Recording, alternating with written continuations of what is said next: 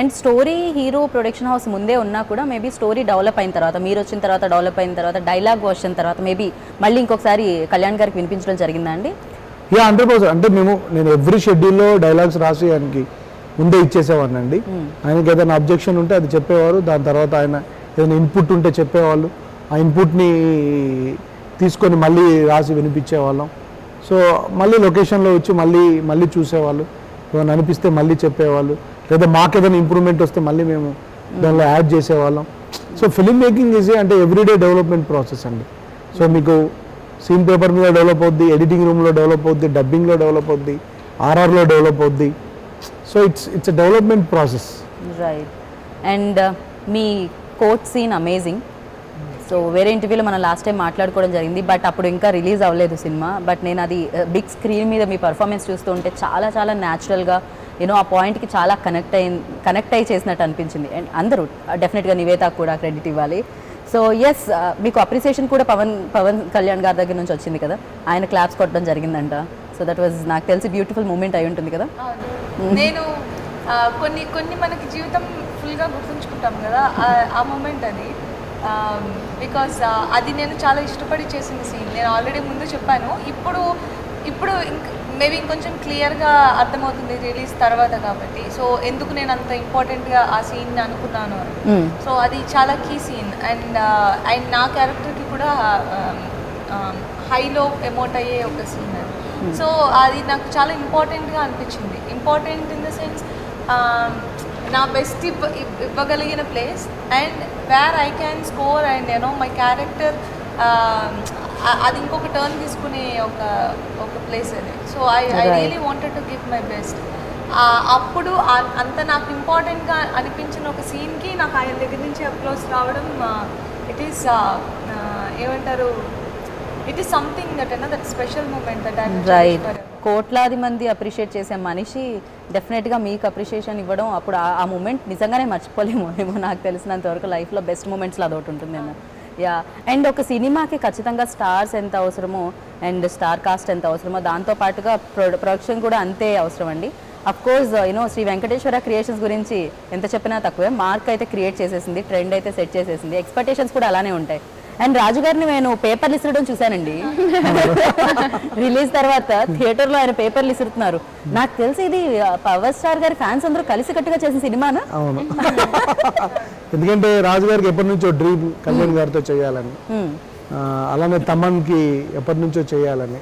So నేను this is my just third film అసలు నేను డ్రీమ్ కూడా చేయలేదు చేస్తానని అనుకోలేదు. సో మేబీ అందరూ అంద అంటే మన ఇష్టం అంటే ఇష్టంతో చేస్తున్నప్పుడు అవుట్పుట్ వేరేలా ఉంటుందండి. మనం ఎప్పుడైనా ఇష్టంతో ఏదైనా ఒక పని చేస్తే దాని అవుట్పుట్ వేరేలాగా ఉంటుంది. సో చాలా మంది ఇష్టమైన వ్యక్తులు కళ్యాణ్ గారిని అభిమానించే వ్యక్తులు చేసిన సినిమా కాబట్టి ఇది అందువరకు ఈరోజు అలా ఉంది అనుకుంటున్నాను సో మొత్తానికి ఫ్యాన్స్ అందరూ చేసిన సినిమా ఫ్యాన్స్ అందరూ మెచ్చిన సినిమా అని చెప్పుకోవచ్చు దీన్ని? ఎస్ హండ్రెడ్ పర్సెంట్ అండి. సో పండగలాగే. ఆయన అంటే సినిమాలు మేము చెయ్యము అనగానే హార్ట్లో ఒక రకమైన ఇది వచ్చిందనమాట అందరికీ. బట్ ఆయన మళ్ళీ ఇలా కోవిడ్ టైంలో నాకు తెలిసినంత వరకు కోవిడ్కి భయపడకుండా థియేటర్కి ఫ్యామిలీ మొత్తం వెళ్ళి చూసిన సినిమా ఏమో ఇది. అందుకే నాకు. తెలిసి రెండు మూడు రోజుల్లోనే కలెక్ట్ చేసేసింది. సో ఫ్యాన్స్ అందరు కలిసి ఫ్యాన్స్ కోసం తీసిన సినిమా అండి ఇది. బట్ ఇంకా కొత్త కొత్త ఫ్యాన్స్ యాడ్ అయ్యారు ఇందులో. వాళ్ళు ఎవరంటే గర్ల్స్ ఉమెన్ అందరు ఫ్యామిలీస్ అందరు ఫ్యామిలీస్తో వచ్చి చూస్తున్నారు. ఇంకా అందరు వచ్చి చూడాలని కోరుకుంటున్నాం మేము. అందరూ మాస్క్ పెట్టుకొని శానిటైజ్ చేసుకొని ఈ ఉగాది రోజున అందరూ వచ్చి మా సినిమాని చూసి మీరు ఒక ఆలోచనని ఇంటికి తీసుకెళ్ళాలని కోరుకుంటున్నాం. And one last and final question అండి. అబ్బాయిగా యాక్చువల్లీ అంటే ఈ సినిమాని హ్యాండిల్ చేసిన విధానం లైక్ ఈ స్టోరీ మీ దగ్గరికి రాగానే అండ్ మీ మీ రియాక్షన్ ఏంటి దీని మీద? లేకపోతే మీ ఫీలింగ్ ఏంటి ఈ స్టోరీ మీద? ఇది ఫస్ట్ క్వశ్చన్ ఏంటంటే లాస్ట్ క్వశ్చన్ యా లాస్ట్లో అడుగుతున్నాను అందుకని. సో కాబట్టి ఇది ఫస్ట్ వేసుకోండి పర్వాలేదండి లాస్ట్ యా ఐఎమ్ హ్యాపీ అండి ఐఎమ్ హ్యాపీ దట్ అంటే యూ గెట్ అంటే these kind of films has to be made ఇలాంటి సినిమాలు తీయాలి ఇలాంటి సినిమాలు మనం చెప్పాలి. ఇలాంటి సినిమాలు ఇప్పుడున్న సమాజానికి అవసరం actually so I felt glad that this kind of subject came to me so నేను I want I was happy that I was making this film and this film came to me అంటే you can you don't choose the film film chooses you అంటారు Right, సినిమాలలో. So this film chose me. I'm glad that this film chose me. And i tried my level best to write in the best way where i can uh, balance the star power and the audience uh, like you know and the main story. So I hope అంటే ఆ middle path తీసుకున్నాను నేను. I did my best I think people are liking it so I hope they have to like it more enjoy it and come with the families and enjoy the film so ఇంత పెద్ద block buster తర్వాత నాకు తెలిసి వరుసలో లైన్లో ఉన్నాయండి. Production houses and stories ya నా దగ్గర ఉన్న స్టోరీలు ఉన్నాయండి. ప్రొడక్షన్ హౌసెస్ ఉన్నాయండి. సో ఐ హ్యావ్ టు అంటే ఈ ప్రమోషన్స్ అన్నీ అయిపోయిన తర్వాత to sit back and take a thing and నేను అదే చెప్పాను కంటే ఒకటే చేయగలుగుతాను నేను. So I have to take and అంటే నేను ఫోకస్డ్గా అంటే మనకున్న టైంలో ఫోకస్డ్గా కరెక్ట్గా చేస్తేనే ఏదైనా దాన్ని రిజల్ట్ ఉంటుంది. Right so have to decide which is my focus point after this right ఒకటే చేసినా ఎప్పటికీ గుర్తుండిపోయే సినిమాలు మీరు మాకు ఇస్తున్నారు కాబట్టి ఖచ్చితంగా ఒక మంచి సినిమా మళ్ళీ మీ నుంచి మమ్మల్ని అందరినీ పలకరించాలని మనస్ఫూర్తిగా కోరుకుంటున్నాను.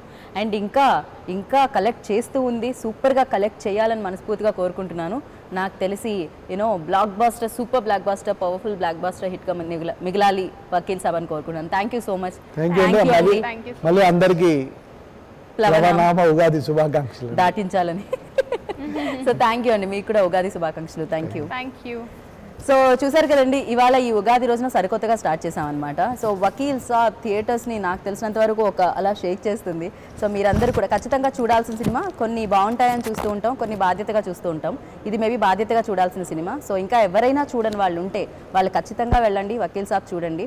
So this is Geetha Bhagat once again ప్లవనామ సంవత్సర ఉగాది శుభాకాంక్షలు. Take care bye